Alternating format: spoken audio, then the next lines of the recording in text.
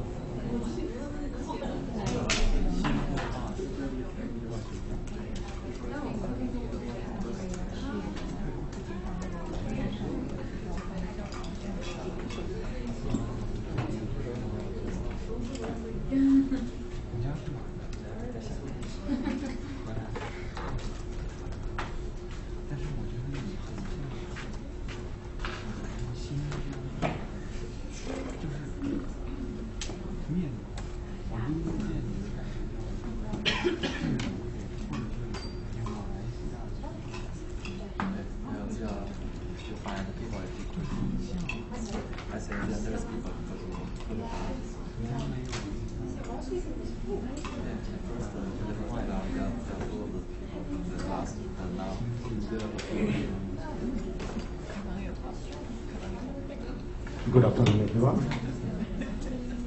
How are you all? Looks like many people didn't finish their vacation yet. so all of you had a good long weekend? Good. Actually, I didn't have one very good. Suffering from cold, fever, flu for the last couple of days. Uh, anyway, uh, let's start uh, our today's topic is determination of sample size, a review of statistical theory. So if I just give you a little background, you know, in last two weeks, what we have learned are just last to last week we learned how we can write down a questionnaire, the guide- guidelines of writing a questionnaire, the last week we learned about different sampling techniques. So once you are done with your questionnaire, then once you have decided about your sampling technique, that means which sampling technique you are going to use, a probability technique or non-probability sampling technique, the next question is what should be your sample size? That means if you have a target population, then which subsample of your population should be surveyed? Okay, so that's that's one of our agenda today, and we will also review uh, some statistical knowledge. I think most of you have these preliminary ideas like uh, measures of central tendencies, measures of dispersion, then central limit theorem, some uh, statistical theory we will be reviewing. So this is chapter 7 of our textbook.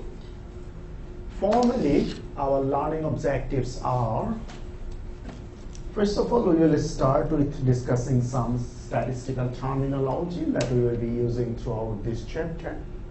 Then we will be discussing some techniques or ways of organizing or summarizing data. So we will be talking about uh, percentage distribution, frequency distribution, probability distribution. These are actually not in true sense some statistical technique. These are actually the way of summarizing or organizing data. We will uh, differentiate between sample, sampling, population, and sample distribution. We will learn the basic idea of central limit theorem we will see what's the difference between point estimates and confidence interval estimates when we try to make an inference from the sample about the population. And last of all, we will be discussing some issues that we should be considering while we determine our sample size.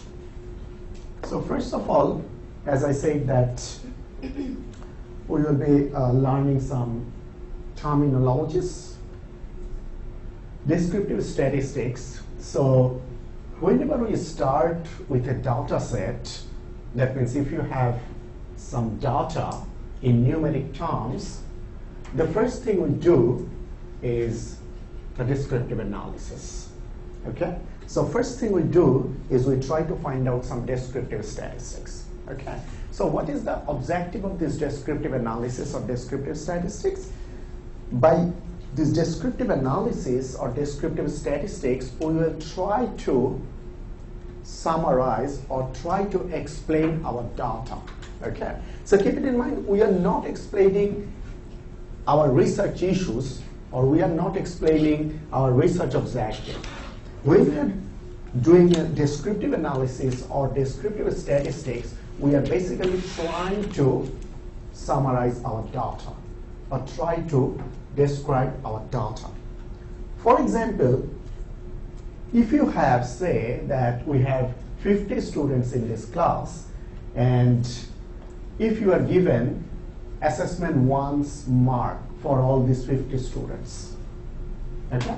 Assessment one's marks for all these 50 students. If this data is given to you, and if you are asked to find out some descriptive statistics, what you will be looking at. Like how will you be explaining this data by looking into some statistics probably.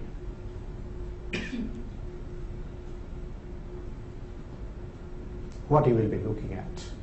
50 marks. 50 students, 50 marks, each out of 100. Okay?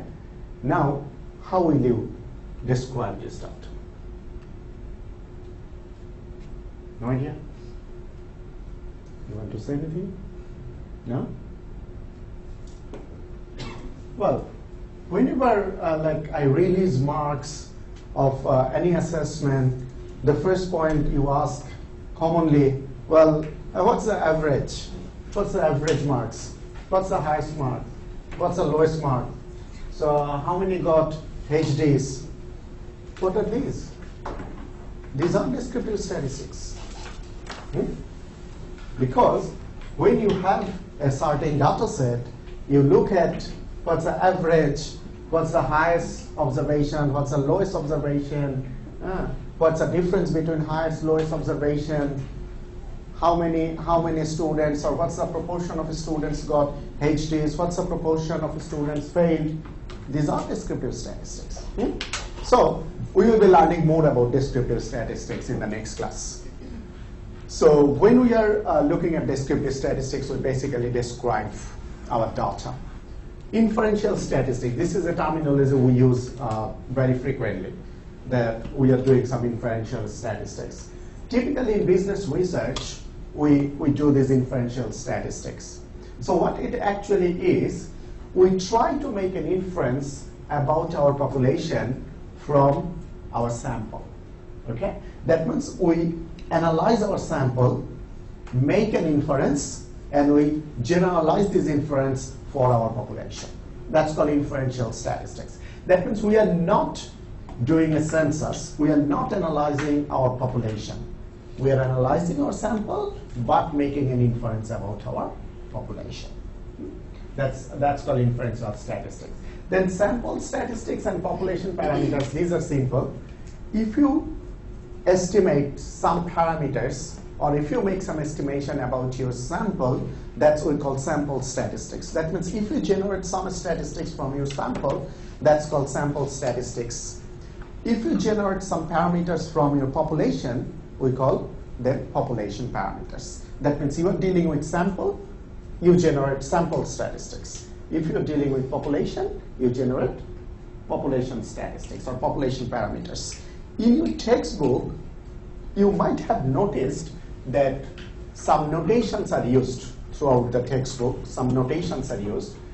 Uh, remember that when you see some lowercase Greek letters, for example, alpha, mu, beta, some these are lowercase Greek letters. If you see these notations, those actually indicate population parameters. Wherever, if you see uppercase English letters denoting something throughout your textbook, uppercase English letters, those actually indicate sample parameters. Okay? So, uh, whenever you look at these notations, keep this in mind.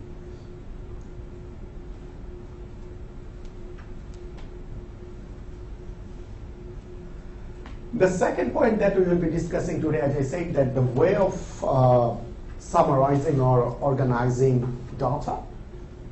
So once we have the data, the first thing, as I said, that we need to organize or summarize data.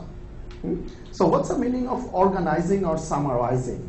Actually, we, we need to organize or we need to summarize or we need to present our data in such a way so that we get some useful information. If you have like hundreds of thousands of numeric observations, you cannot get anything meaningful from them. That's why you go for organizing or summarizing data so that we can extract some information. Uh, the first step of this summarizing or making data usable is to do some frequency distribution, percentage distribution, and probability distribution. All of you are familiar with this. First of all is frequency distribution. That means we may present our data in a frequency distribution. What's that? When we make a frequency distribution, we actually make a table. Hmm? We make a table where we show different numbers, different numbers that represent the frequency of occurring a particular observation or frequency of appearing a particular observation. Okay. For example, your variable, one of your variables is gender. Hmm? Gender, and in this column, you have male, female, male, female, male, female and you code them male 1, female 2. Hmm? So in this entire column, what you will have? 1, 2, 1, 2, 1, 2, 1, 2. Now, if you make a frequency distribution, what you will actually do is how many times 1 appears in the column, how many times 2 appears in the column. So if you have 100 observation and you make a frequency distribution and you write that male is 50 and female is 50, it means that in your uh, total number of observation like 100, 50 times one appears 1 and 50 times appears 2. Okay, so in this frequency distribution, if we do it for a particular variable or a, for a particular column, we will see how we can do that in using Excel in our workshop session. So we will represent our entire column or our entire data by some numbers and each number will present the frequency of appearing a particular observation. Is this point clear? Okay. Now, percentage distribution is very similar. In frequency distribution, as we are say, showing an absolute number, how many times an observation is coming. But in percentage distribution, we do not show absolute number, we show percentage, I mean proportion. Proportion of times one observation is appearing in the column. Hmm? Let's say that you have a variable income level, income level, and you have five income level groups. Hmm? Five income level groups, one, two, three, four, five. Now, if you make a percentage distribution, you will actually show how many of your, what's the proportion of your respondent belongs to income group one, what's the proportion of your respondents belong to income groups two, what's the proportion of your respondent belong to income group three, and so on. So in percentage distribution, you will summarize your data in percentage form. And probability distribution will simply show a long run probability of occurring a particular event or occurring a particular observation. If these three definitions are clear, then let's see some examples one by one for each of these. So look at this example first. It was a survey of 3,120 people. Hmm? And they were asked that what amount of deposit they hold in a financial institution. So there were five groups. You can see under $3,000, 3,000 to 5, 3,000 to 5,900, 6,000 to 8,999, 9,000 to 11,999, 12,000 and more. So these are the five different groups and each respondents were asked that which group he or she belongs. Okay. Now you can see that 499 respondents says that they have a deposit of under $3,000. 530 respondents say that their deposit is from 3,000 to 5,999.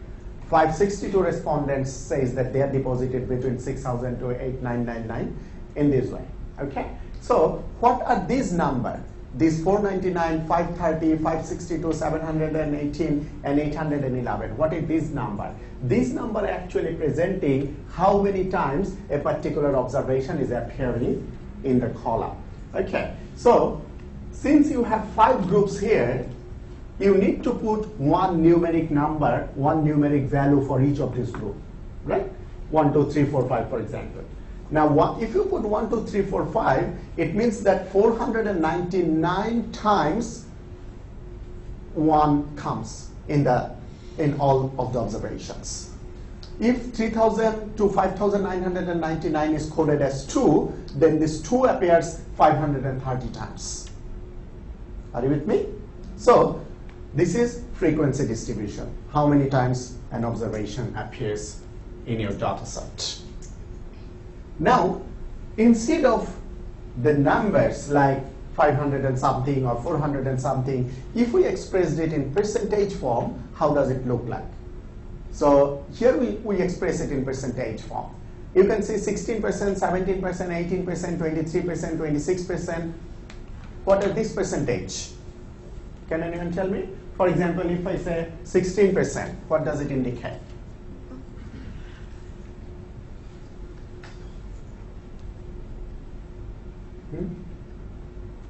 Sixteen percent.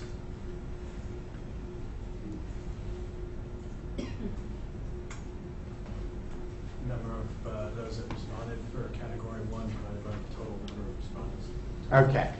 Sixteen percent is the proportion of respondents, proportion of respondents who have a deposit of under three thousand, right?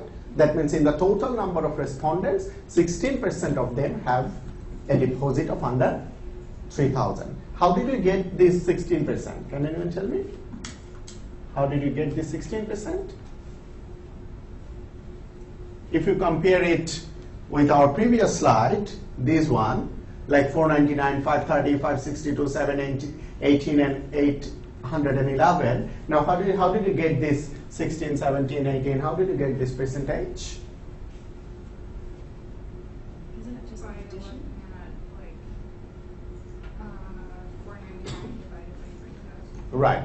Each, each number of observation, I mean each frequencies have been divided by the total number. Hmm? For example, under 3000, uh, how many people have a deposit under 3000? There were 499 and total observation is 3120. So if we divide 499 by uh, 3120, we got this percentage. So this is percentage distribution and this is probability distribution.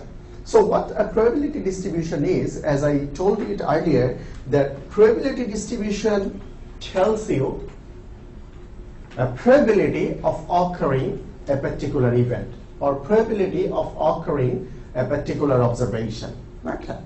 Now, look, in this case, under 3000 is 0.16, from 3000 to 509, uh, 5999 is 0.17, like this. So, what this, when I say probability is 0.16, what I act, uh, want to mean actually? How many respondents we have? 3,120. Okay? Now, if we randomly pick one of our respondents from 3,120 respondents, if we randomly pick one res respondent, what's the probability that the respondent will belong to category 1? That is 16%.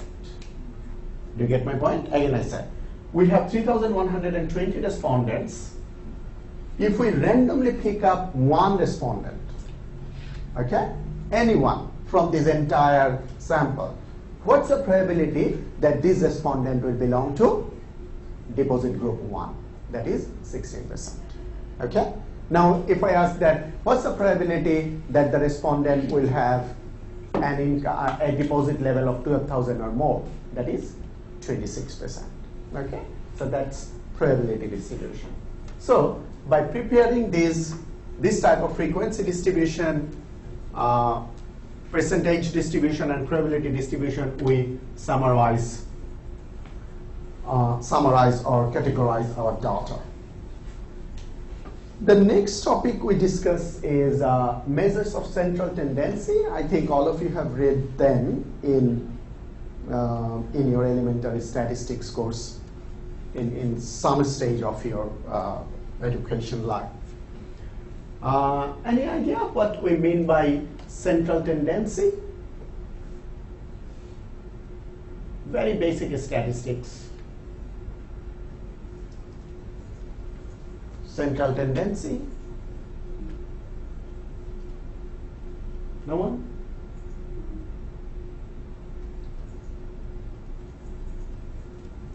Want to say anything?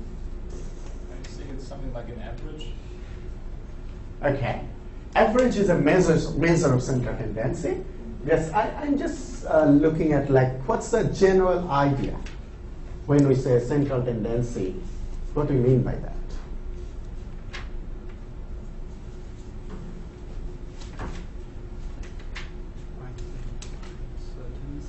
Yes. or decrease?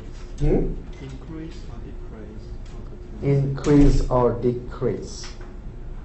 Mm, Okay. Generally, generally, a data set shows the characteristics of central tendency. Okay. Any data set typically has these characteristics. There is a central tendency.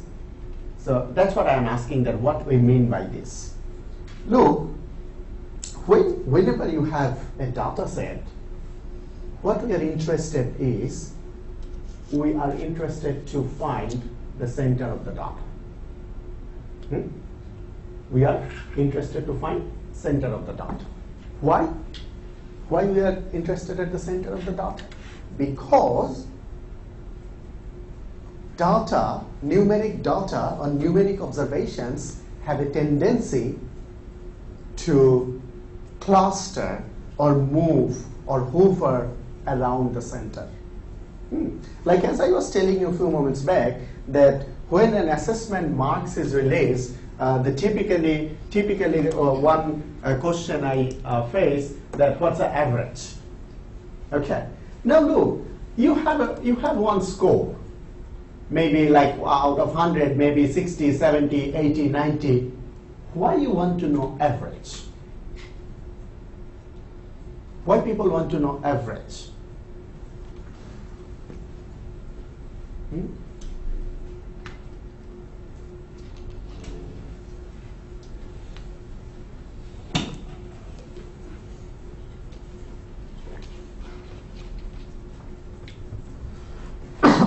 Sorry. No idea? You have a score, but if, if you are still interested to know average, why?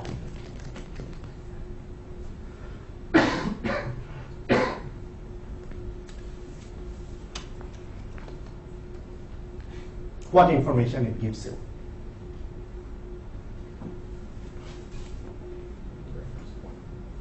Hmm? You can check you either over or below the average. Okay, you are higher or below the average. What's the what's the benefit of knowing that? No idea? I think it's a good measure to indicate our position. For example, in the exam, sometimes if I study really I Mhm. no and then I found myself over the average. Okay, so you are saying that you you uh, understand your position. How? Like you know that your score is 70, but average is 60. So what is your position? Better than average. Better than average. Okay. So you become happy. Why? to compare with the to compare with I don't know how to say but um most not like most but other students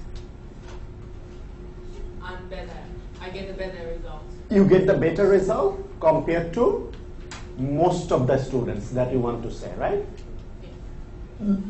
That that's actually the, the point I, I'm looking at. We are interested about average because average is something that majority of the students score. Yes or no? That's a, that's called central tendency.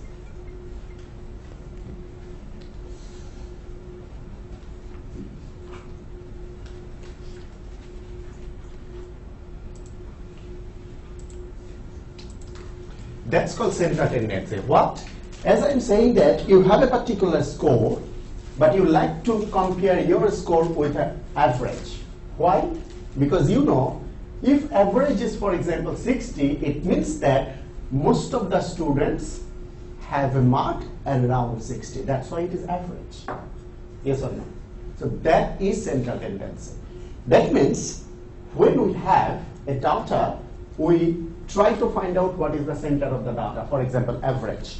We try to find out the center of the data because once we understand that this is the center of the data, we get another information that majority of the data, majority of the observation must be close to the center. Okay, that's called central tendency. Individual observations have a tendency to move around the center. Like Hmm? Like? Sort of, sort of.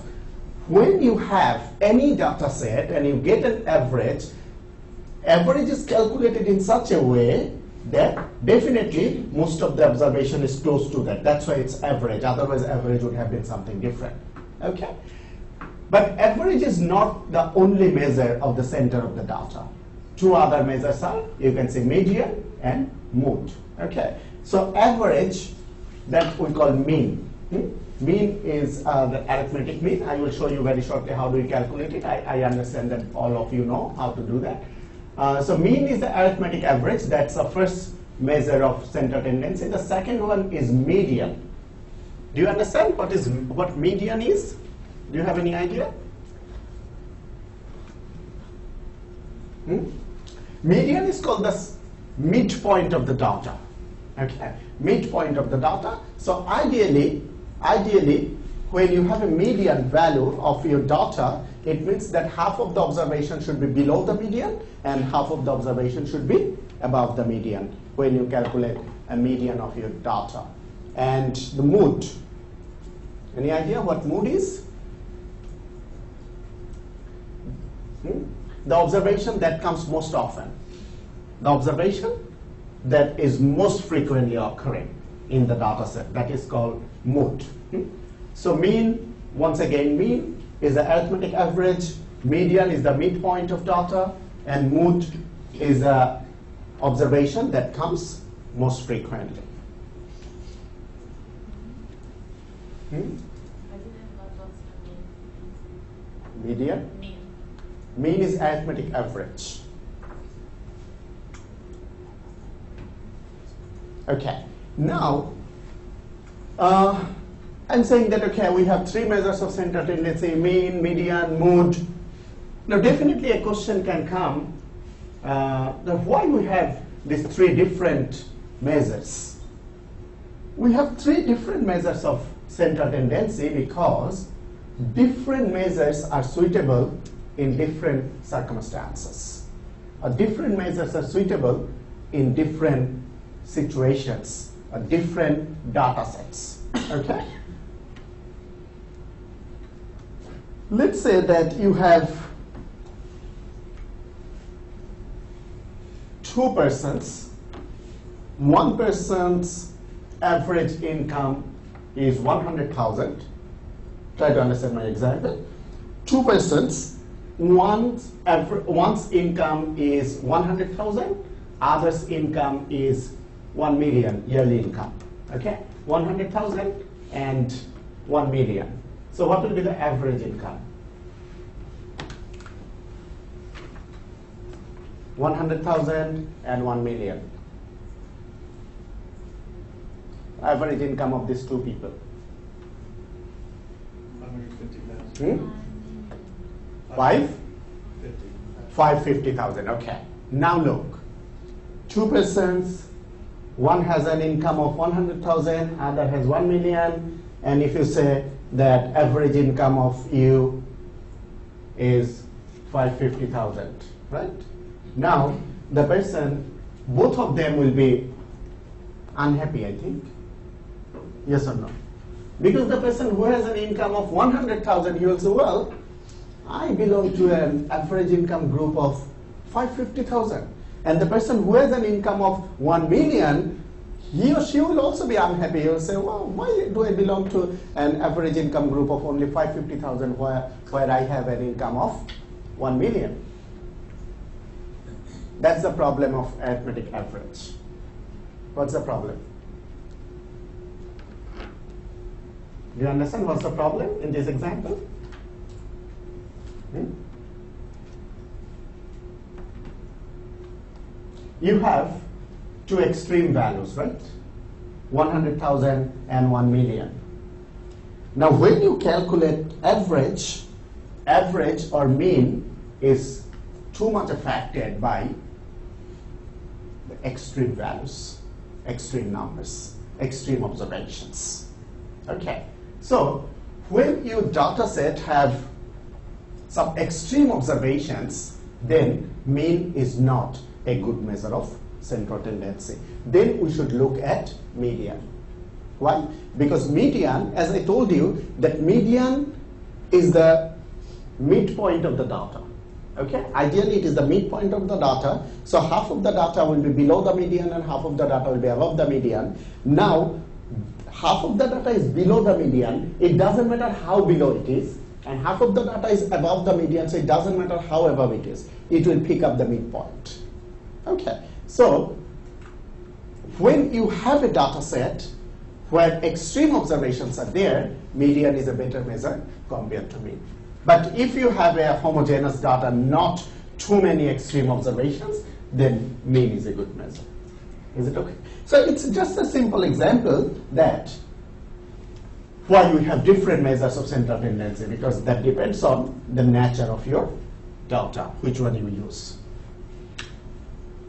Just a very simple example. All of you know how to calculate average, but still uh, I show you.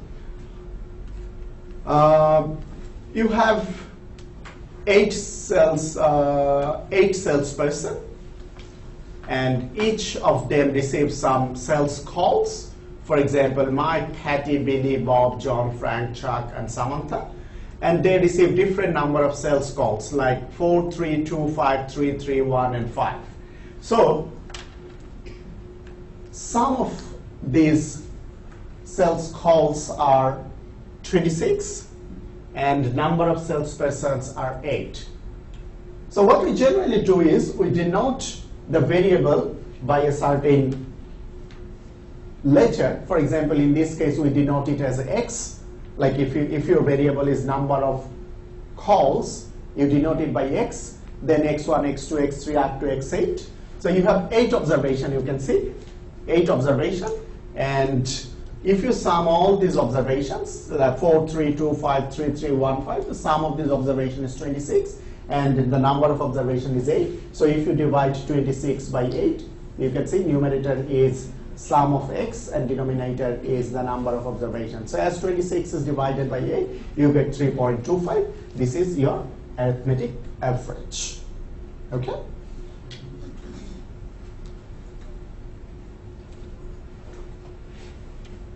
This is also the formulas, how do you calculate average. Now, measures of dispersion. So, so far we talked about measures of central tendency, mean, median, mode. Now, measures of dispersion. Anyone has any idea? Measures of dispersion?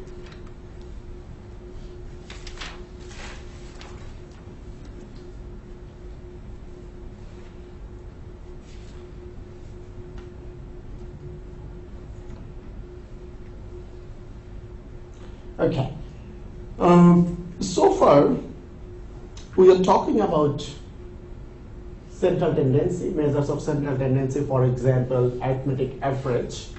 Now, that's one information we get about our data, that what is the center of the data. Now, these measures of dispersion, these are some other measures. By looking at these measures of dispersion, what we'll, we will know is how dispersed or how spread the data set is. Hmm? How dispersed or how spread the data set it means that how the individual observations are away or spread from the center of the data. Hmm? Let me, let me show you a simple example.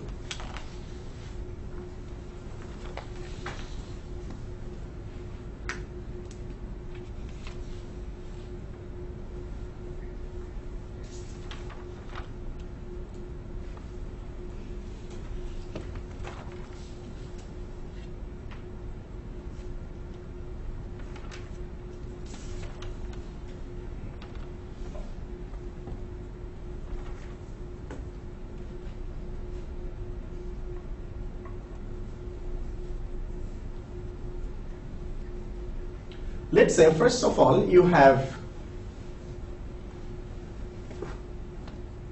you have one data set where you have three observations. 3 3 and 3 so if we calculate average average is generally denoted by generally denoted by x bar. So what's the average here? 3 am i right? Average is 3 now, if we have another data set, for example, 2, 3, and 4. So what's the average for the second data set? Hmm? It's still 3, right? Okay. Now, this is still 3. Now the first data set observations are 3, 3, 3, average is 3. In the second case, it's 2, 3, 4, and average is also 3. So here comes the role of measures of dispersion. as I said, the measures of dispersion actually look at how spread the data is. Okay? How individual observations are away from the center of the data. So which data set you think has higher dispersion? Hmm? Second one Second one, which one? I mean two, three, four. That has that has a higher dispersion. First one, lower dispersion because it has three, three, three. Okay, you are right. So that's actually the role of measures of dispersion.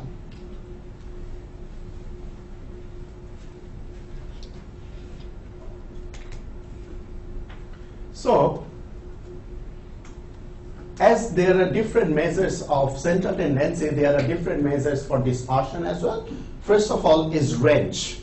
Range is one measure that gives us an idea that how dispersed or how spread the data is. How do we calculate range? Range is the difference between the largest and the smallest observation. Okay? That means if you have a data set, if you have a data set, if you take the maximum number and the minimum number, I mean the largest number and the smallest number, and if you take the difference, that is called range. And that gives you an idea that how spread the data set is. Okay? And the second one is standard deviation. Standard deviation measures the average deviation, average deviation of individual observations from the mean value. Once again, standard deviation measures the average deviation. That means it actually calculates how each observation is deviated from the mean and then calculates this average deviation. Okay, so that is that is a standard deviation. So look how we calculate standard deviation. Uh, uh, also, also first of all, look at this example. Sales level for two products so identical average sales. Unit units product A and unit products product B. So these are the different quantity of cells uh, over the months for two product, product A and product B. Look, for product A, monthly cells are like 196, 198, 199, 200, 201, and 202, and average is average is 200. For product B, look at the monthly sales 150, 160, 176, 181, 192, 200, 201, 2, 13, 24, 40, 61. Average is still 200. Okay? So, for both of these cells data, we see that average is same, 200. But do you think that dispersion or the spread of the data is same? Hmm? The spread of the data is not same. Where the spread of the data is higher? For product B, spread of the data is higher. Okay, so that's actually we look at our look with our naked eye and we say that okay, the product uh, B's cells is more dispersed. We can graphically present it or we can mathematically calculate that. So if we graphically present this, uh, this low dispersion and high dispersion data set looks like this. You can see that in the vertical axis if you show frequency and in the horizontal axis if you show the value of variances, then, sorry, value or variable, then the low dispersion data, those will be concentrated, okay? Whereas high dispersion data set, these dot points that is representing the frequency and the value, that will be more dispersed, okay? So that is the graphical uh, representation. Now, we can calculate standard deviation. This is what I already discussed. Standard deviation is the average deviation. This is the formula we use to calculate measures of dispersion. Look at the, look at the formula carefully. First of all, we calculate variance. Then, as we take a square root of variance, we get standard deviation. So look at the equation below. So how do we get standard deviation? This is xi minus x bar. Okay, so you understand what x bar is? Hmm? This one, x bar is the average. I mean x, then a, a sign at the top. That's called x bar. So xi minus x bar. It means the the deviation of individual observation from the mean value. Then we square it. Okay, square it and we sum them up, then we divide it by n minus 1, and finally we square root it. That is standard deviation. As I said that it is the average deviation of individual observations from the mean value. Now let's see, let's see a calculation using this formula. You can remember we had eight salespeople and each salespeople had each, sales, each salesperson had a particular number of sales calls. Hmm? And we already calculated average that was 3.25. Can you remember? That was our average, 3.25. And this 4, 3, 2, 5, 3, 3, 1, 5, these are the different number of sales calls each uh, salespersons were receiving. So first of all, what we need to do is we need to get the deviations, deviations of individual observation from mean value. So look what we are doing. 4 minus 3.25, 3 minus 3.25, 2 minus 3.25. So in each case, this 3.25 is the mean value. Okay? 3.25 is the mean value and we are deducting this 3.25 from each observation. So that's the deviation of individual observation from mean value. Then we are squaring them. Okay, you can see x minus x bar squared, the extreme right column. We are squaring them and finally we are summing them up. So once we sum them up, we get 13.5 and if we divide this 13.5 by n minus 1 and square root that, we get the standard deviation. And the standard deviation here is 1.38. So as I already have said that standard deviation is the average deviation of individual observation from mean value. So it is here, this uh, standard deviation is 1.38. We need to understand that since it's a sort of ratio, because you can see we have a numerator and we have a denominator, so we get uh, a ratio 1.38. That's why this number itself itself is not very much meaningful because if standard deviation is 1.38 or 2.38 or something, we cannot say that whether standard deviation is higher or standard deviation is lower. Do you get my point? That means here you can see that standard deviation is 1.38. So if you ask me that, well, is this standard deviation is higher? That means if the data is very much spread, we cannot say. Because the number itself is not very meaningful. However, if we have standard deviations of different variables or different data set, we can compare them and we can say that which variable is more dispersed or more spread relative to other variable. Do you understand my point? That means if this is the standard deviation, that means 1.38. This is the standard deviation of one variable. And if we have another variable which has a standard deviation of 2, we can say that standard deviation of that variable is higher than this variable. That means the other variable is more spread or more dispersed from the mean value. Is it clear? So that's, uh, that's a standard deviation. Now, can anyone give me an example like what's the use of this measure, this statistical measure, standard deviation? Any example where you can use this number for uh, a particular decision making or uh, taking a decision? Any example?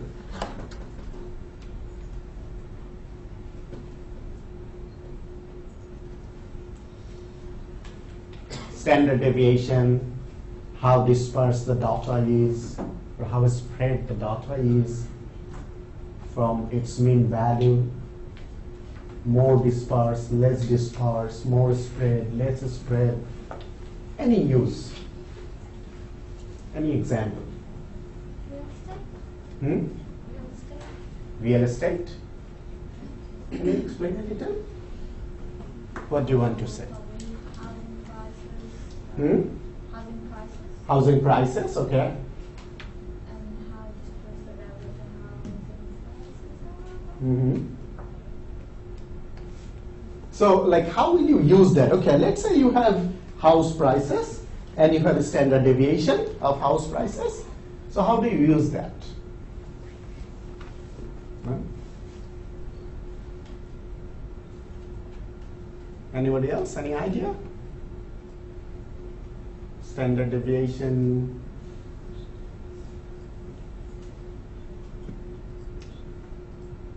Do any one of you have investment in stock market? Hmm? No one? Stock market? Okay. Uh, uh, It's compare with the central. yes, you want to say anything? I think use this just compare with the cen- central uh, data. Okay. Comparing individual observation with the center, we calculate standard deviation. I'm just asking you that, like in our practical life or in our day-to-day life, can you give any example where this, like standard deviation type of information can be helpful? That's, that's what I'm asking.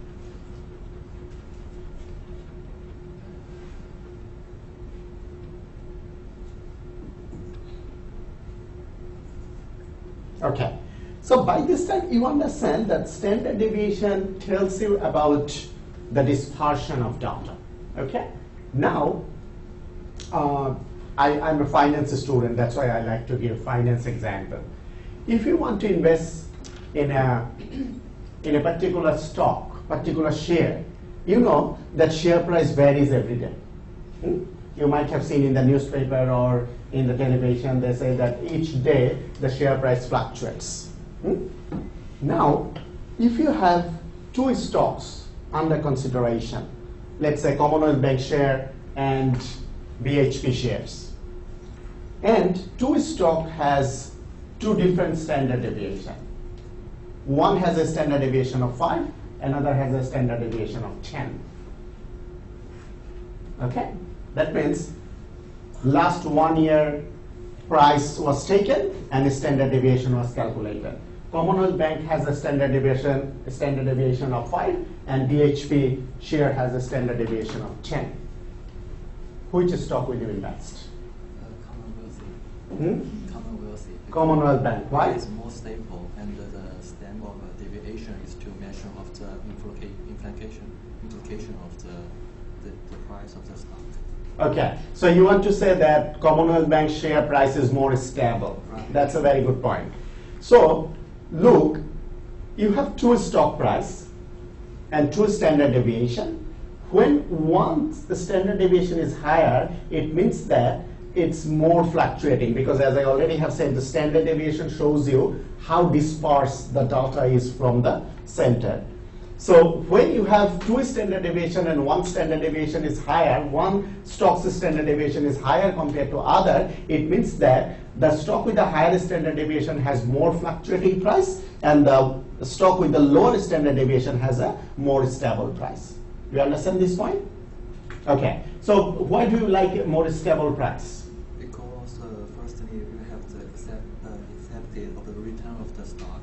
Mhm. So you can say the five, and uh, when you find the, standard deviation is uh, higher than the, your expected return, so it means that inflation is um, higher than the you thought. So it's more stable. It means that the expected return is uh, uh, more uh, possibility to achieve. So that means the, it's more stable. It means. Can you tell me in a simple language? In that just means Let it's me not make it simple. It is not my problem. It's what to say. More stable is more easy to achieve your expected return. More stable is less risky. Why don't you say this? More stable means the stock price is less fluctuating. More stable, it means it's less risky. Okay? And higher standard deviation means it's more fluctuating, so it is more risky. Okay? So yeah, that's that's one use of standard deviation. Uh, normal distribution. This is another characteristics of data. Okay, so don't forget that we are we are talking about uh, the way of presenting or summarizing data. We talked about uh, the central tendency, measures of central tendency, measure of dispersion. Now, normal distribution. This is also a characteristics of data. So normal distribution is a theoretical or symmetrical distribution. And it has a bell-shaped curve indicated by indicated by, bell shape. For example, sorry, This is a normal distribution. I think most of you are familiar with. So normal distribution is a theoretical distribution of a data set. And once again, when we have a data set, we are interested to know that whether our data set is normally distributed or not. Why? Because a normally distributed data has certain characteristics. So if we can identify that our data set is normally distributed, we will know that our data set has these characteristics. If we find that no, our data set is not normally distributed, then we will understand that our data set deviates from these characteristics. So what are these characteristics? First of all, I have said that normally, uh, normally distributed data uh, is shown by a bell-shaped symmetric curve. So if you look at this, this is how this is how a normally distributed data, like if you if you prepare a probability distribution of a data set, if it is normally distributed, then it will look like this. Okay? So what are the characteristics? You can see this, it's a bell shaped, okay? The midpoint of the data is the mean. Huh? You can see here, 100. This is the mean of the data, okay? And it's bell shaped and it's called symmetrical. Okay, normally distributed data is called symmetrical. Symmetrical means half of the data, half of the data will be the right hand side of the mean and half of the data will be left hand side of the mean. Okay. Uh, this example is basically for an IQ test scores. Okay, IQ test scores where the scores ranges between 55 to 145. The mean score of this test was 100. Okay, mean score was 100, lowest score was 55, highest score was 155. So as it was, the probability distribution was drawn, it looks like this. So mean value 100, and as I already have said that this is the characteristics of the normally distributed curve, that half of the data will be right hand side of the distribution. So if you just divide this distribution half, then half of the data will be the right of the that is 100, and left of the left of the uh, data will be the half. Half of the data will be in the left hand side. This is another characteristic. And uh, another characteristics of normal distribution is when you have a normally distributed data, then one standard deviation, one plus minus standard deviation from the mean value will cover around 68% of the data. Two plus minus standard deviation from the mean will cover around 95% of the data. And three plus minus standard deviation from the mean will cover 99% of the data. Okay? Uh, probably this point is not clear. So look at this.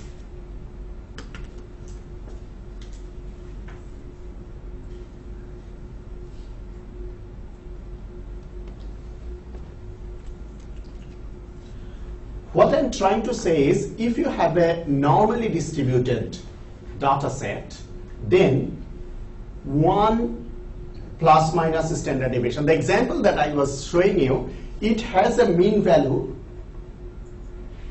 It has a mean value of 100 and standard deviation of 50. Okay? Mean value of 100 and standard deviation of 50. What I'm saying is, if the data is normally distributed, then plus minus one standard deviation from the mean value will cover 68% of the data. What, what does it mean? Look, 100 is our mean, right? If we add 15, what we get? 115, right? If we deduct 15, what we get?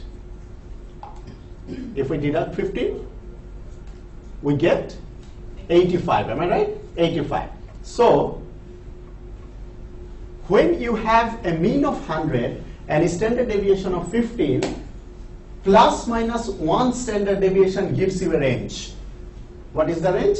85 to 115. So what I'm saying is, plus minus 1 standard deviation will cover 68% of the data. It means that you can remember in this data set, this is the uh, it is the IQ test score. The minimum score was how much was? Minimum score was 55 and maximum score was 145. Now we get a range 85 to 115. What do we know? 68% of our data will be in this range, 85 to 115. Now, if we add, if we plus minus two standard deviation, so with 100, if we add two standard deviation, that means 215. So it will be 130. Am I right? 130. And if we deduct two standard deviation, it will be 70. So 70 to 130. This is 2 plus minus standard deviation. So I'm saying that plus minus 2 standard deviation from the mean will cover 95% of the data. So although the lowest and highest value was 55 to 145, but 70 to 130 will cover 95% of the data. Do you understand my point? That means you are reducing the range. So 95% of your data covers 70 to 130. Hmm? And plus minus 3 standard deviation, that means if you add 3 standard deviation and deduct 3 standard deviation, then you can cover 90%, uh, 99% of your data. That's the characteristics of normal distribution. Do you understand my point? So, look what I'm trying to say. Particularly in this example, minimum value was 55, maximum value was 145. Okay? Now, if you exclude, try to understand, if you exclude all your data below 70 and exclude all your data higher than 130, how much of your data you will lose? Hmm? 5%. Good. As I said that this is 70 to 130, that is plus minus 2 standard deviation, and that covers 95% of your data. So if you exclude some of your outliers, outliers means some extreme observation, you do not consider any number below 70 and you do not consider any number higher than 130. So you exclude all of them. You lose only 5% of your data. It's still 95% of your data can be done. So sometimes when we do our research, we try to get rid of the extreme values. Okay? Extreme values. And if it is normally distributed, then it's far easier for us because we know that if we add or deduct a certain standard deviation, we can cover this much of the data. So this is the characteristics of normal distribution. I just summarize. Normally distributed data or normal distribution is a theoretical bell-shaped curve it is symmetrical. It's uh, so symmetrical. Symmetrical means half, its center of the data will be the mean, and half of the data will be the right hand side of the mean, and half of the data will be in the left hand side of the mean. This is one characteristics, and the other characteristics is plus minus one standard deviation from the mean value will cover 68%, plus minus two standard deviation from the mean value will cover 95% of the data, and plus minus three standard deviation from the mean value will cover 99% of the data once again, why this information is necessary? We will look at our data and we will try to fix or set that whether our data matches with the normal distribution or not. If matches with the normal distribution, we will understand that our data set has these characteristics.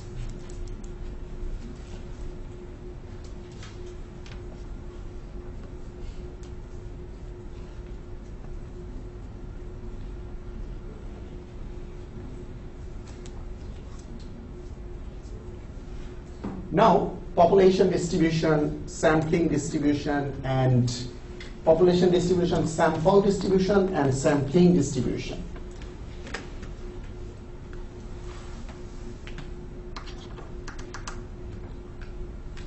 First of all, we already are clear about the probability distribution. We just saw a normal distribution, or we already know how we can how we can create a probability distribution.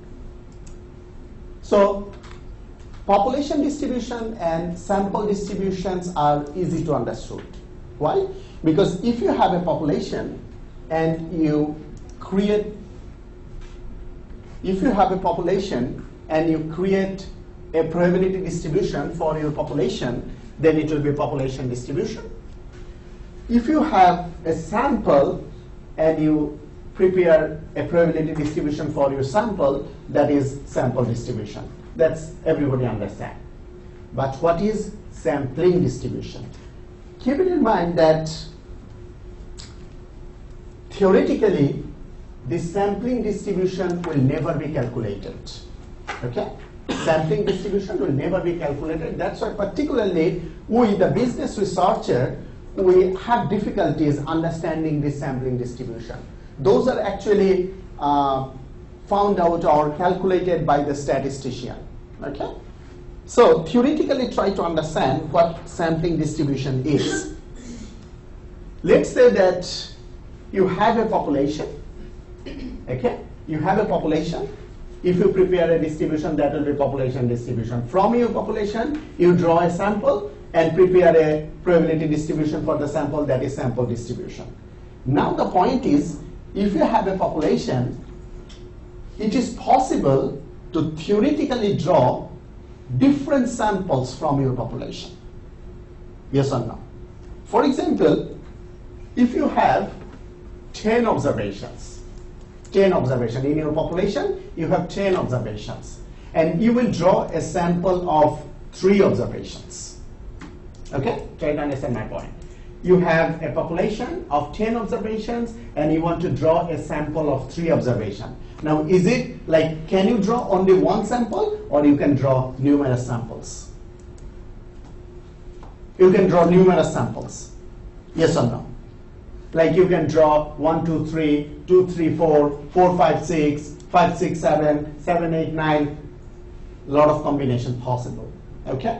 So, as I am saying that sampling distribution is a theoretical distribution. So what I want to mean is if you have a population and if you draw numerous possible samples from your population and calculate the mean value for each of these possible samples, okay, calculate the mean of this each possible sample and draw a, uh, draw a probability distribution for mean of these possible samples, then it is called sampling distribution.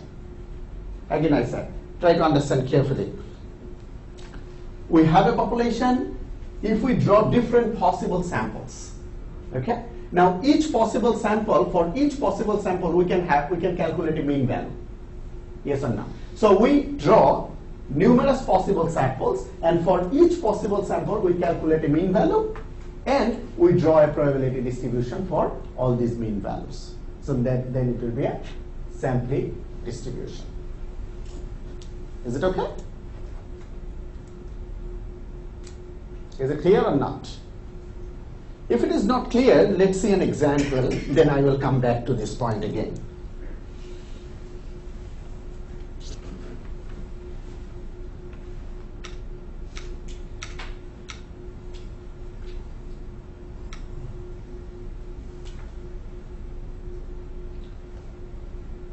Look at this example.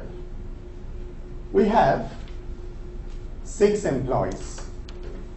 Donna, Heidi, Jason, Jennifer, Mark, and Eddie. And they are quality control experts. They are actually looking for defects in our products. Now, how many defects each of them found? Like Donna found one, Heidi got two, Jason got three, Jennifer got four, Mark got five, and Eddie got six. So if we sum up them, we get 21 Number of observation is 6. If we divide 21 by 6, we get 3.5. Okay? So that is our population. And what is our population mean? 3.5. Okay? That's our population means 3.5. Now, as I already have said, if we draw a probability distribution for this population, that will be our population distribution. Now, we will draw a sample from this population and each sample will consist of two observations. Okay? Each sample will consist of two observations. Look at this. Now, don't forget what are the what are the observations we have. One, two, three, four, five, six. That's our population. Now we want to draw a sample of two observations. So how many possible samples are there? Look. It's possible that we take 1, 2, 1, 3, 1, 4, 1, 5, 1, 6, 2, 3, 2, 4, 2, 5, 2, 6, 3, 4, 3, 5, 3, 6, 4, 5, 4, 6, 5, 6. Okay? That means from the six observations, if you want to draw sample that consists of only two observations, you can pick up 15 alternative samples. Yes or no? You can pick up 15 alternative samples. And also, you can calculate mean for each of these samples. For example, if you take sample 1, you have two observations, 1 and 2, right? So what's the mean value of this? 1.5. And what is the second sample? 1, 1 and 3. What's the mean of this sample? 2. So you can calculate mean of each of these possible samples, right? now, if you draw a probability distribution for all the means of these possible samples, that means as you take the mean values 1.5, 2, 2.5, 3, 3.5, all these means, if you draw a probability distribution of all these sample means, then it will be a sampling distribution. Is it okay?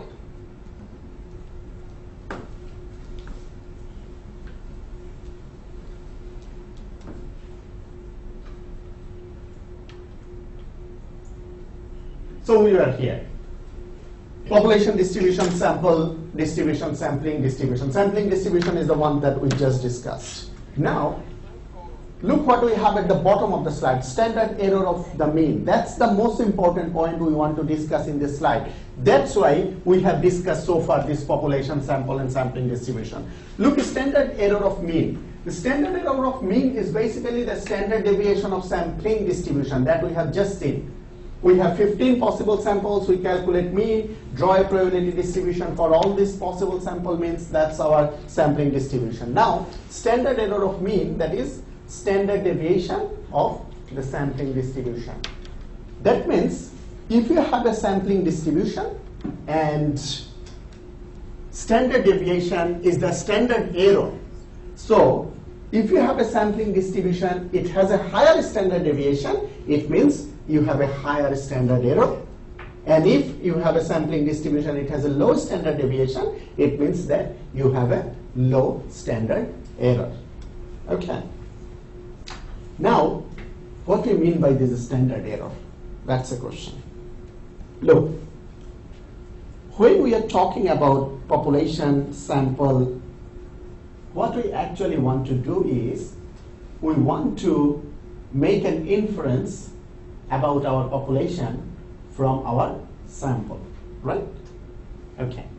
Now, if I go back to our example again, look, in this example, what is our population mean? Can you, can you check? What's our population mean that we have calculated?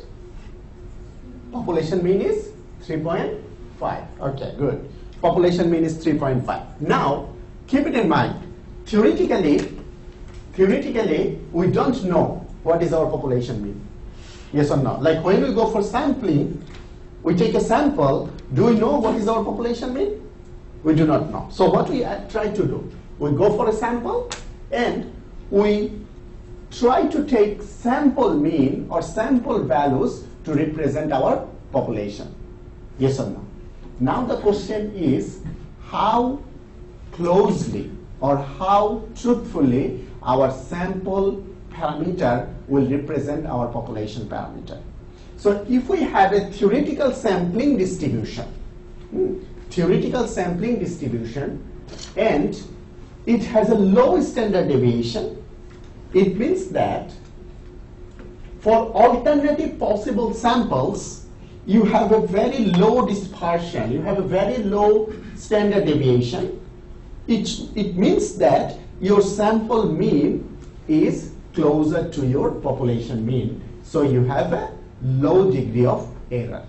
However, if you have alternative samples and you draw a sampling distribution and it has a very high standard deviation, so it means that it's possible, look, if you have a very high standard deviation, it means that your sample, your sample could be here or your sample could be here, but your population mean can be anywhere in between. So there is a chance that your sample mean deviates away from your population mean. So higher the standard deviation of your sampling distribution, it means that your sample means are spread in a larger range. So you have a higher standard error. It means that there is a high chance or high probability that your sample sample values will not very well represent your population values. Is this point clear? For example, in this case, our population mean is 3.5 and look, all of these are sample mean, 1.5, 2, 2.5, 3, 3.5. Okay, so 3.5 was our population mean and all these our sample means, I mean sampling distribution. So as we look at standard deviation of this sampling distribution, we can say that how good this sampling distribution is in representing our population mean. Okay? So to summarize, once again, if you have a standard deviation of your population distribution, that means these ones, standard error of mean. If you have, if you calculate a standard error of mean for two variables or two data set, and one data set has higher standard error of mean, it indicates that for this data set, sample value does not well represent the population value. And on, for the other data set, if this standard error of mean is lower, it indicates that its sample values will be closer to your population values because the standard error of mean indicates how close your sample values to your population values. Is my point clear?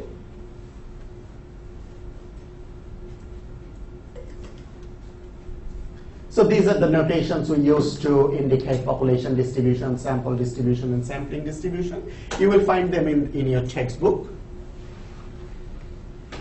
So just uh, we are carrying on discussing our population distribution, sample and sampling distribution. So look, at the top of this slide, what you have is your population distribution. So that's your entire population. Now, as just few moments back I showed you that from your population, it's not necessary that you pick up only one sample. It's from your population, it's possible that you pick up different alternative samples. So in the middle of the slide, you have three alternative samples, okay?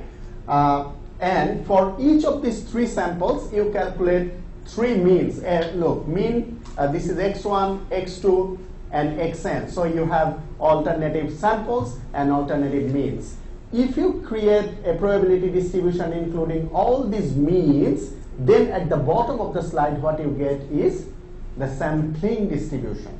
That means it's a probability distribution of your all possible sample means. Okay? So one information here is as your sample size gets larger, your sampling distribution will approach to normality. Okay? That, that's what we known as central limit theorem. That means, as I was saying that if you have a population and you draw alternative samples from your population, now it's possible that you have different sample sizes. Hmm? For example, the one that I showed, we have six observations in our population and we are picking up samples with two observations only. Now it's possible that we pick up sample with two observation, three observation, four observation.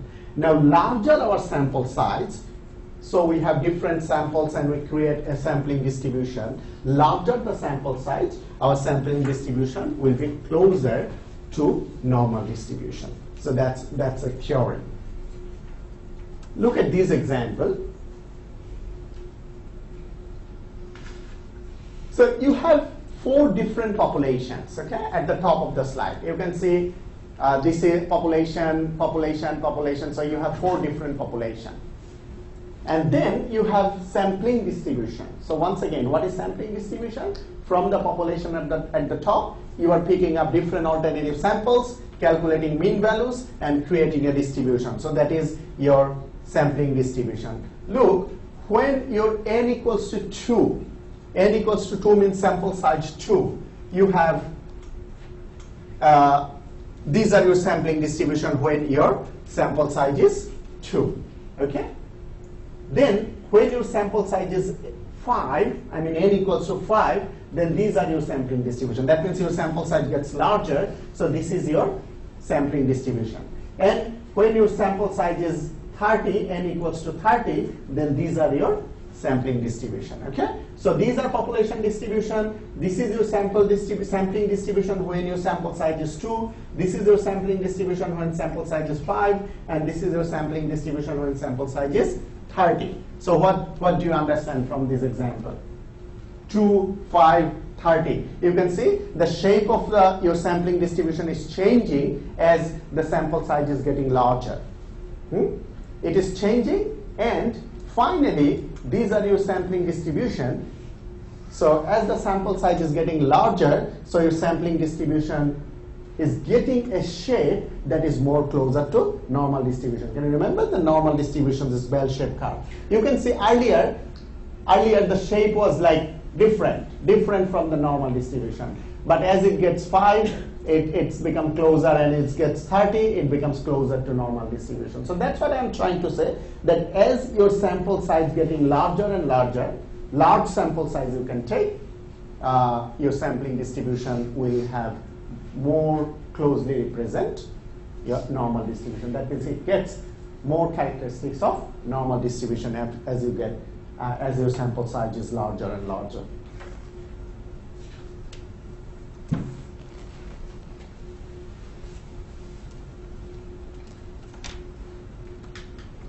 This example we already discussed. Now, estimation of parameters and confidence intervals. First of all, let's start with an example. Let's say you are, you are doing a test market. Test market means you are trying to introduce a product, so you are testing your market that the product will have a viable, commercially viable market or not. So it's a, it's a new low-fat chocolate. What you have done is you have distributed this new low-fat chocolate to 500 households. Okay? Distributed new low-fat chocolate to 500 households. And after two weeks, you call them and ask them that whether they will like to buy this chocolate anymore or not. Okay? 500 households. So among these 500, 400 reply that they will buy the chocolate again. Okay? So what does it mean? Among four, 500, 400 replies positively. So 400 among 500, what's the proportion? 80%. Am I right? So 80% of your respondents say that they will buy the chocolate again. Okay? So, are you happy with this result? It's a test market. And on the basis of this test market result, you will either go for the production of this chocolate or you will just scrap this plan. So 80% of your respondents say that they will buy the chocolate again. Are you happy with this test market? Will you go for it or you won't? I mean, you will introduce this product in the market or you won't? Are the, like, the test market, is it all the same value? So is it like, you know, how much are they buying? You know, is it a small shop, massive shop? Is it Okay, we, we do not go to this complexity. We are just saying that, okay, 80% of our respondents will buy. So should we go or we do not? As long as you're getting return on investment, you'd go for it at eighty percent. Okay, okay. Anybody else? Okay, look, what the point is, we have 500 respondents, and among these 500, 400 is saying that they will buy it, that's fine. So we conclude that 80% will buy. Now, we go for production. So do we produce for these 500 people or we produce for the population? I mean, we produce it for the whole population. We produce it for the whole population, am I right? Hmm? Okay. Now the question is, the 80% people want to buy how good this result is in terms of our population. Because 80% wants to buy 80% of what? 80% of our sample. Isn't it? So it does not necessarily mean that 80% of our population will buy. So what's the question?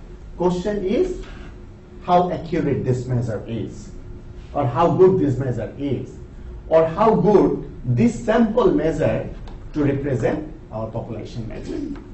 Hmm? These are the questions. Now, as I was saying at the start of this class, that in business research, we typically do inferential statistics. Inferential statistics means we go for a sample, as I was saying, 500 people, we get response from 400, and we take it as a response for our entire population. Okay? Now, this inference can be drawn based on these two. One is either point estimates or confidence interval estimates. What does it mean?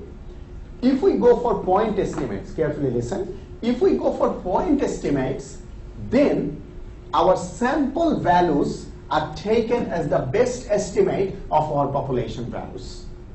Again I say, sample estimates are taken as a best estimate of our population.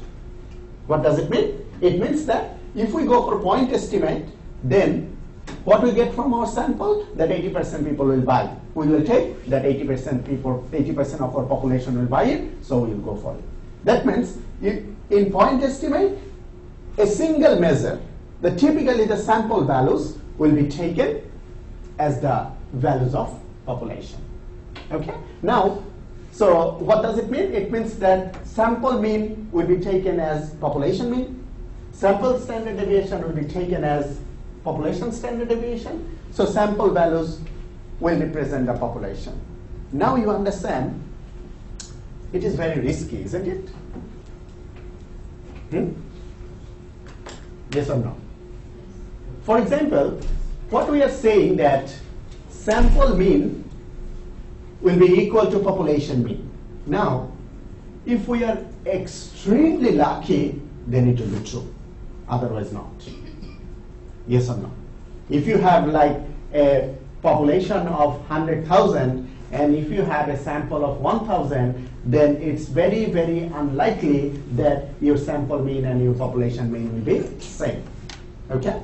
So point estimates, if you go for point estimates, you take the sample measures as a population measure, then it's very risky and there's a high chance of error.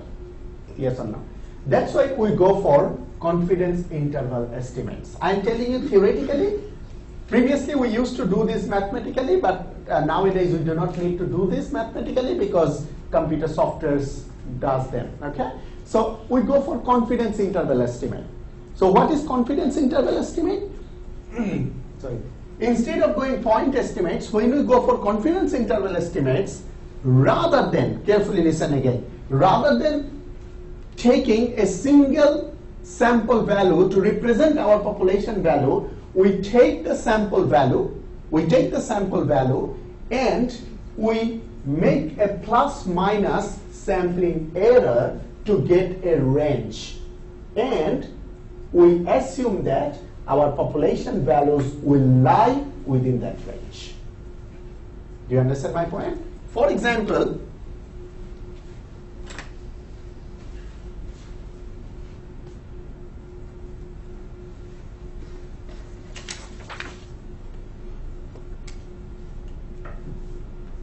let's say our sample mean is 5. So if we go for point estimates, our sample mean is 5, we will take that our population mean is also 5. That is the point estimates. Okay? Now, as I already have said that it's pretty much risky that our sample mean and population mean will be exactly same. So instead of point estimates, if we go confidence interval estimate, what we do? We actually create a range. Okay? We create a range. So what's a range? We create a range and we assume that or we estimate that our population value will lie within this range. In this case, our sample mean is 5, okay? Let's say we have 5% sampling error. 5% sampling error. So what we will do is, this 5 is our sampling mean, uh, sample mean. So we will plus minus this sampling error, okay? So it is plus 5 plus 0.05. So how much is this? 5.05. Am I right? And if we deduct this 0.05, it will be 4.95. Yes or no? So what range we get? We get 4.95 to 5.05. Okay. So that's the difference between that's the difference between point estimates and confidence interval estimate. If we go for point estimate, uh, if our sample mean is 5, we will say that our population mean is also 5. But if we go for confidence interval estimate, our sample mean is 5, we will find out what is our sampling error. Let's say this is 5%. So we will add and deduct this 5% from our sample mean and we will create a range. For example, in this case, we get a range of 4.95 to 5.05. So now we will say, well, our sample mean is 5, but our confidence interval estimate is 4.95 to 5.05. So it is most likely that our population mean will lie between this range. Okay? So you understand, it's a safer option. This confidence interval estimates is a safer option compared to point estimates because we are not we are not on taking a decision on the basis of only one value. Rather, we are making or we are creating a range, and we are saying that our population value will will be within this range. Is it okay?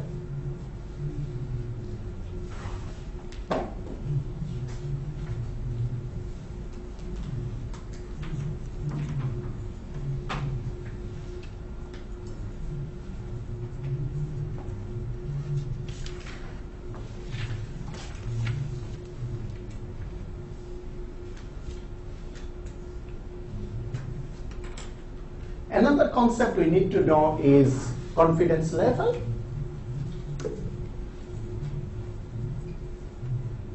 We will also see these in our workshop session that how we incorporate this confidence level in our uh, statistical decision making.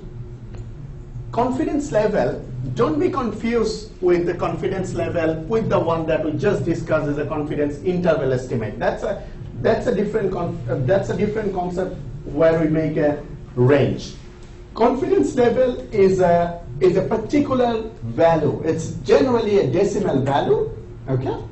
That actually shows that how confident the researcher is about the statistical decision or about the statistical inference. Again, I said, confidence level, like when we say that we are 95% confident or 90% confident or 99% confident, we use it in this way. So it's typically a, it's a, it's a decimal value that shows how confident a researcher is regarding the accuracy of the statistical inference. Okay? So the crux of this problem is the researcher need to decide what will be this confidence level. Like it, typically we take it as 99%, 95%, or 90%, not below that. Okay? So, when we say that 95% confidence level, 95% confidence level, it means that researcher is accommodating 5% chances of error. Hmm? 5% chances of error. What does it mean? Look, uh, let's say that we have 50 students here, we calculate an average marks. Average marks. Say that average of average score of this 50 student is 60. Average score is 60.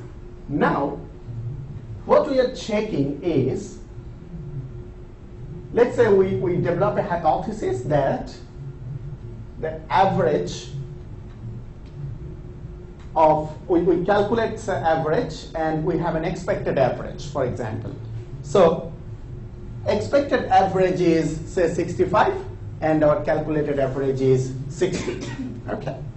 So we have a hypothesis that expected average and calculated average are same. Okay? Calculated average are same. So expected average and calculated average is same. That's our null hypothesis. If we run some statistical test and we accept or reject our hypothesis at 95% confidence level, it means that the researcher is 95% confident that these two are same or these two are different. If I take another example, let's say that we have some male students here and female students. We hypothesize that average score of male and average score of females are same. Okay, again I said, we hypothesize that average score of male and average score of females are same. And we make some statistical tests. So you later learn how we do this statistical test.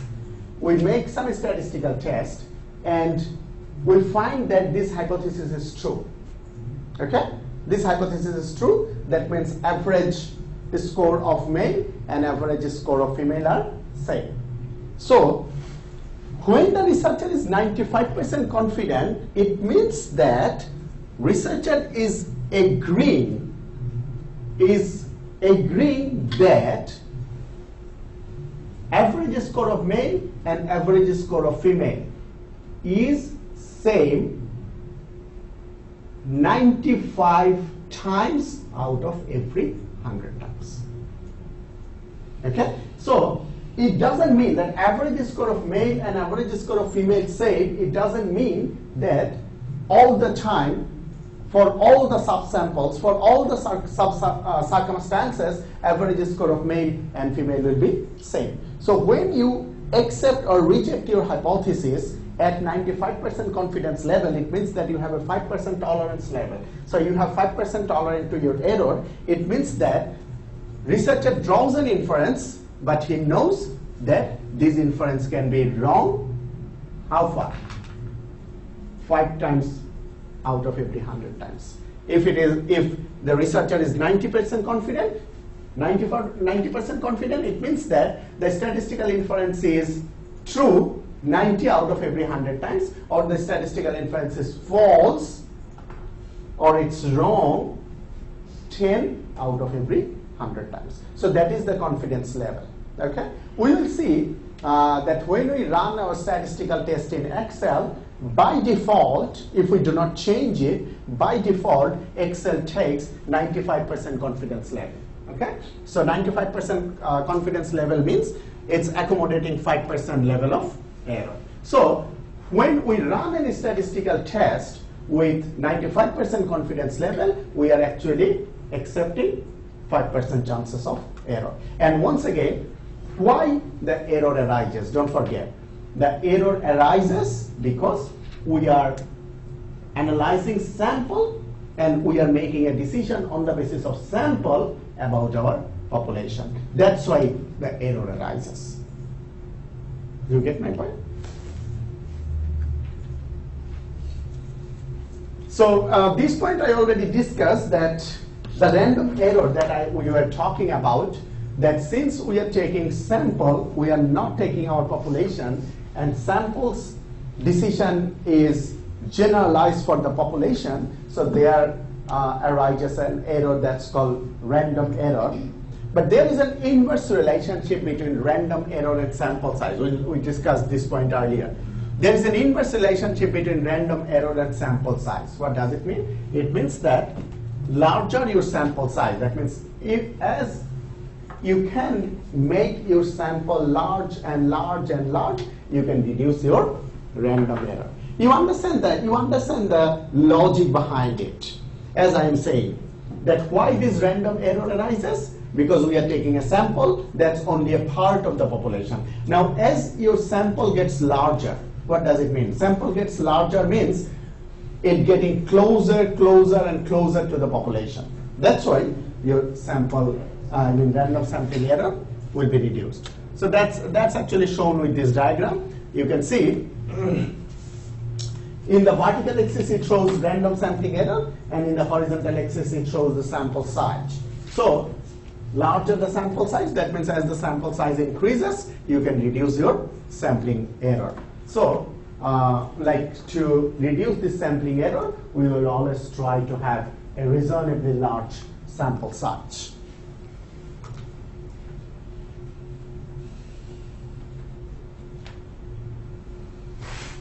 Factors of concern in choosing a sample size. That means if we, if we want to choose a sample size, we need to look at these factors. First of all is variance or heterogeneity. We need to look at the variance or heterogeneity of our sample. If, of, if uh, of our population, I'm sorry, if our population is homogeneous uh, or the population doesn't have very high variance, then we can afford to take a relatively smaller sample. Whereas if our sample has a very high variance, sorry, if our population has a very high variance and heterogeneous, then we have to take a large sample. Once again, if our population is homogeneous, variance is very low, then we can take a small sample. But if our population is heterogeneous or variance is very high, then we should take a large sample. I, I give you two examples, and I will ask you that in, in which case you will take a large sample, and in, which case you will take a small sample. First of all, you will you need to find out average age of class 11 students. This is first one. You need to get average age of class 11 students. Okay? Second, second one is you need to get average age of Jew visitors. Average age of Jew visitors. Now can you tell me in which case you will take a large sample and in which case you will take a small sample? Class 11 students, Jew visitors. In both cases you will calculate average age.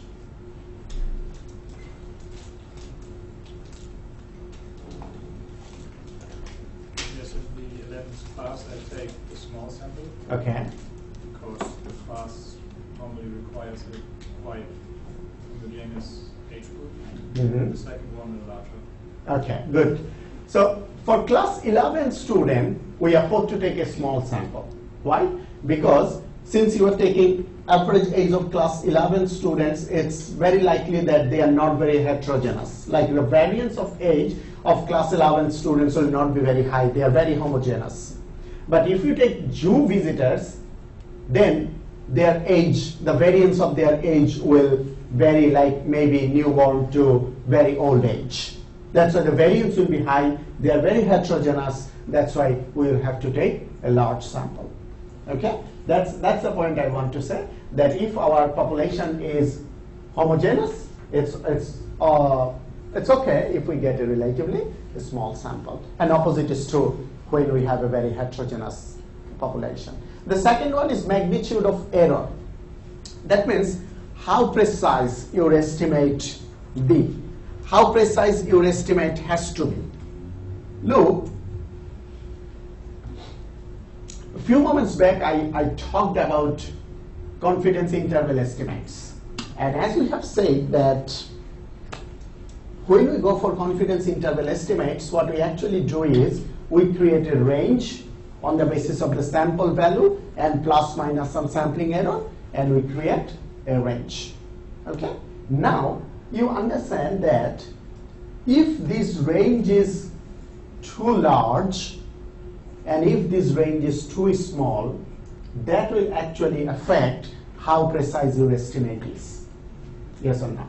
Like if this, if this range is very large, so you have high degree of precision or you have low degree of precision. Did you get my question? You have confidence interval estimate, your sample value, then you plus minus some sampling error, so you get a range. Now, if you, if you have a large range or if you have a smaller range, that actually tells you how precise your estimate is. You understand that if you have a large range, less precise your estimate. Yes or no? Because if you have a large range, your population value can, can anywhere within this large range, so less precise your estimate is. On the other hand, if you have a small range, it means that more precise your estimate is. Isn't it? Okay. Now, if you want to have a more precise estimate, that means a smaller range of confidence interval estimate, then you need to go for a large sample size. Because if you have a large sample size, if you have a large sample size, your sampling error will be smaller. As a result, you get a smaller confidence interval estimates range. But if your sample size is smaller, you will have large sampling error. As a result, your confidence interval estimate range will also be large. So your uh, in, uh, degree of precision will also be low. And then confidence level. I, I just said a few moments back that confidence level indicates how confident a researcher is about the accuracy of the statistical decision. Like when you say that this hypothesis is accepted or this hypothesis is rejected, how confident the researcher is. And as I said that typically we use three different level of confidence. One is 99% confident, 95% confidence level, or 90% confidence level. So higher the confidence level the researcher wants to be, that means higher the confidence researcher want to have, lower will be the tolerance to the error, so higher has to be the sample size. Again I said, higher the level of confidence a researcher wants to have about the accuracy of the result, lower the level of tolerance to the error, so higher should be the sample size.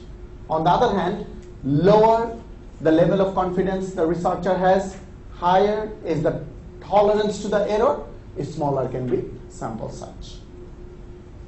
Is this point clear? Again I said, if your sample size is larger, researcher can be confident. So, has less tolerance to error. Okay? On the other hand, if your sample size is smaller, definitely your degree of tolerance has to be, tolerance to error has to be higher and researcher will become less confident. So that's the end of our lecture session today.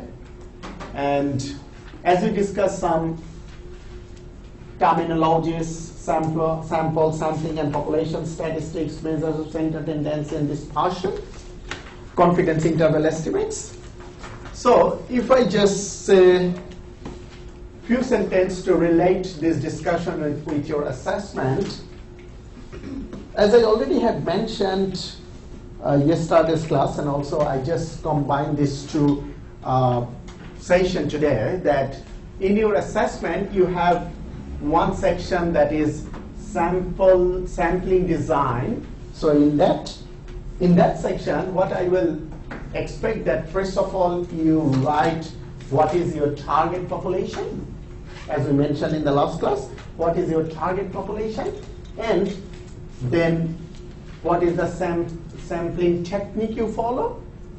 For example, a simple random sampling or stratified sampling or quota sampling or whatever.